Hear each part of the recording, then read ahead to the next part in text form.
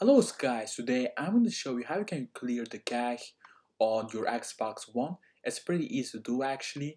And by the way guys, if you have problems during this video, you can just join Ad or Fix. Let's start off. So the first thing you want to do is you want to go to the settings by pressing on the home menu and going to settings. By the way guys, you can like and subscribe, thank you so much. So once you're on here, you want to go to devices and streaming. And once you're in here, you want to go to Blu-ray. And like you see, once you're on here, you want to go to persistent storage.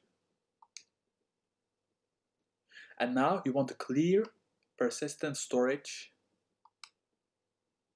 And once you do that, it will be just clear and that's how you actually do it. So it's pretty easy to do actually and a lot of people can do it. It's really easy to do actually.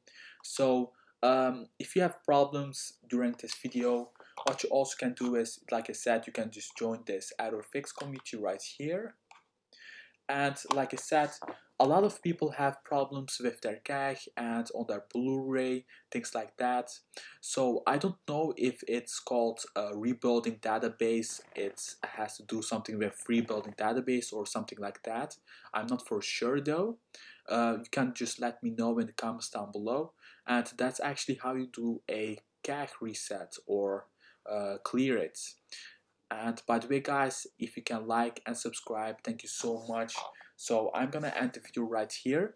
But um, you can also join this community on the ps4 i have the same community on the ps4 it has uh, over a 6000 members actually. And goodbye guys. Take care of yourself